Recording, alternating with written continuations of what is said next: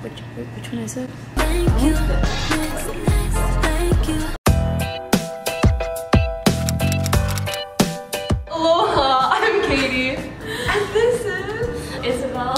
I'm Tia. Hi, I'm Gabby. Hi, I'm Martina. I'm Mayako. I'm Mia. And we're from Girls Will Code. Girls Will Code is a community organization and our goal is to encourage other girls to take part in coding or other STEM related activities. So we do that with workshops, events with speakers, or we go to local schools and teach coding.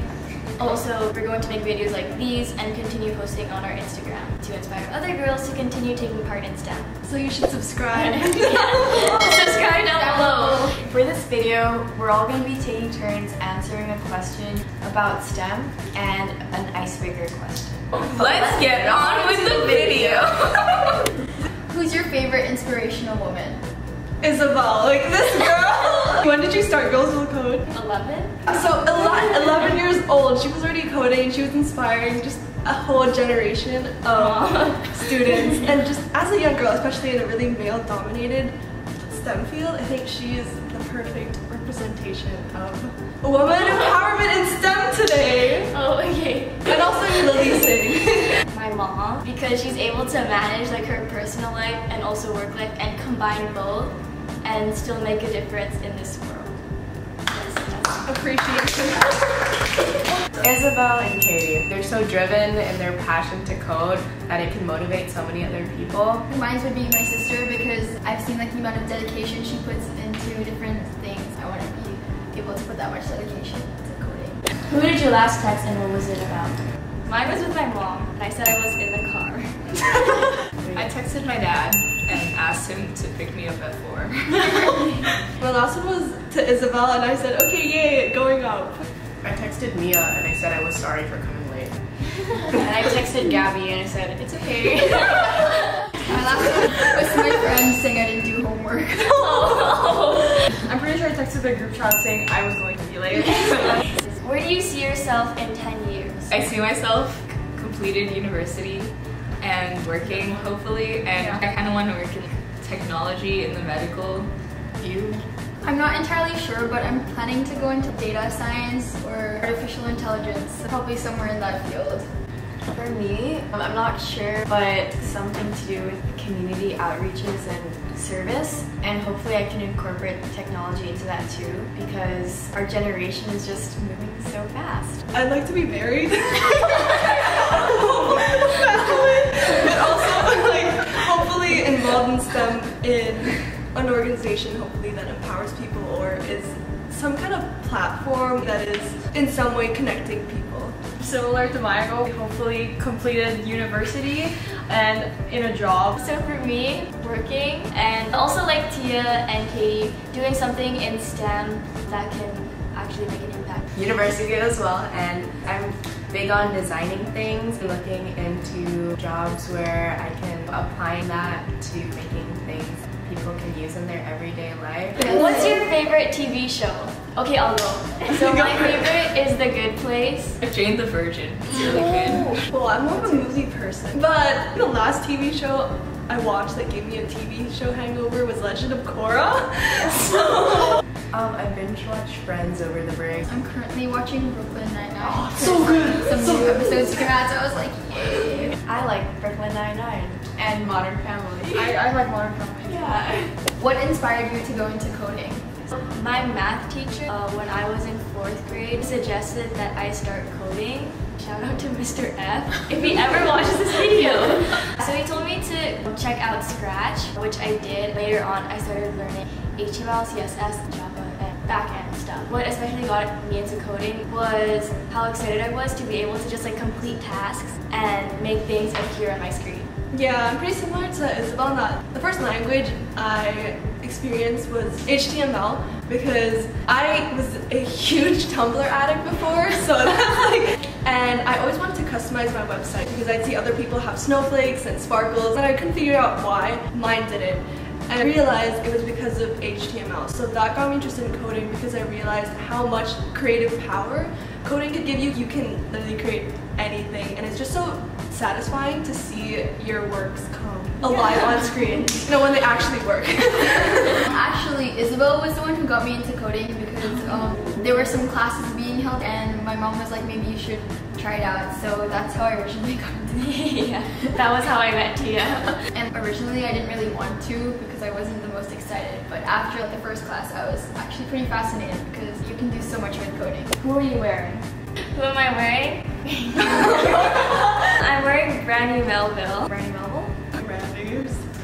Bershka? Tommy. And Green Hills sales clothes and Uniqlo. How about you, Martina? Um, Where are you uh, I'm not sure. Adidas. Oh, and my my leggings are it's merch. Sidemen.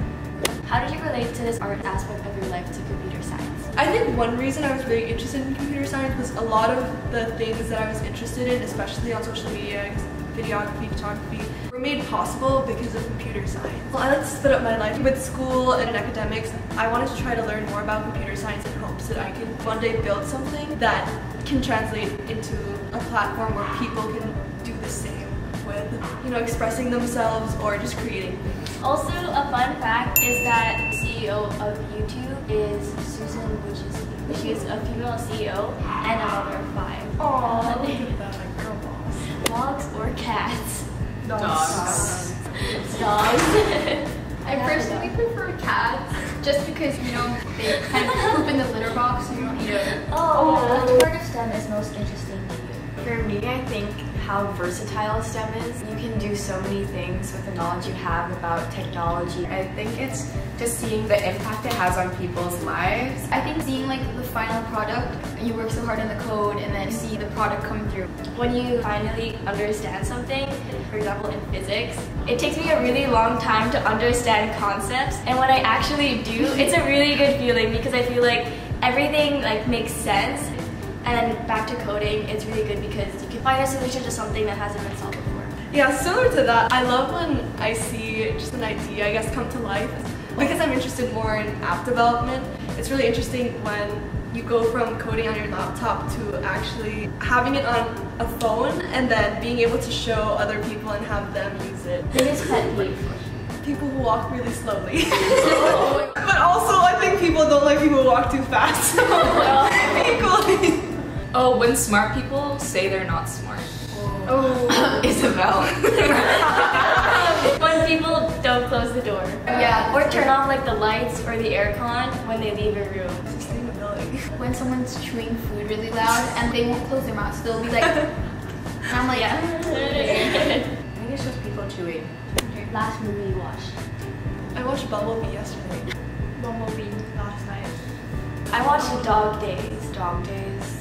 Crazy Rich Asians. Oh, me too. I think I watched Bandersnatch. Oh. Yeah. What's your go-to ice cream flavor? Mint chocolate chip. Vanilla. Cookies and cream. Same. Hey. Same. Mine's not cookies and cream. Peanut prowl- prowly? I also like cookies and cream though. Avocado. Oh. Strawberry. Have you ever had any obstacles in the tech field? And it doesn't need to be like gender. Just the subject being hard in general. Yeah. There's no gender expectations. Yeah, our math teacher said in his class you'll hit a lot of walls. Sometimes I feel like every class is another wall, and it's really hard, but like when you have just any friends taking the same class, it's really nice to have them support and help you out. One of the biggest obstacles is making time to code, especially if you don't have any comp sci classes at school. Usually I allow myself to let like other academics take over, which is why I think coding with other people is like a good way to motivate you. Yeah, I can kind of relate to that. Um, I'm a major procrastinator, so because I anyway procrastinate, I put my work first, obviously, like schoolwork, and I end up not having time to code. And mine is similar to hers. Also, it's being able to understand code online, especially when you look up questions, sometimes it can be difficult to grasp, especially when you're on your own. So I think a Yeah. solution to that would be ha- finding a mentor or someone also interested in whatever you're studying so that both of you can help each other. Like, comment, and subscribe. We'll be posting videos every once in a while, so turn on your post notifications so you can figure out when we post. You can always go to our Instagram. We post two times or more a week. And also check out our website where we have resources where you can learn about coding, how to start a club, and other things like that. And our Facebook also. Link down below. So Yes, You better go there down next. below. go subscribe to Aloha Katie. Yes. And if you're here for my channel, then you should really subscribe. Okay, that's it. Bye. Bye.